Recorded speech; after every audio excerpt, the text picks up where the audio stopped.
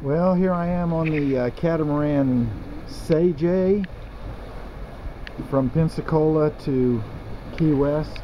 And if anybody thinks the catamaran doesn't move around out on the ocean, they're crazy because it certainly does. We've been bouncing around all night long and all morning long in the waves.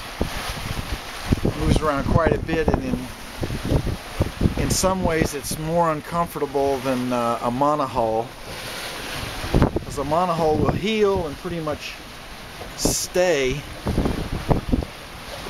heeled. You have to deal with that of course but this thing is jerking and bouncing around. Very sudden jerky movements. All the time. We're standing two hour watches so believe me, I slept okay, but one of our crew members had a hard time sleeping.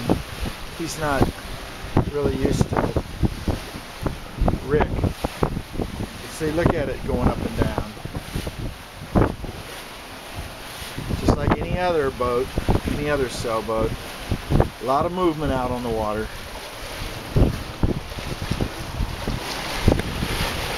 Anyway, we're okay, except the wind is really not helping us. We're wanting to go inshore over to Sarasota and the wind is from that direction so we're way offshore. We're about a I'd say at least 140 miles offshore right now.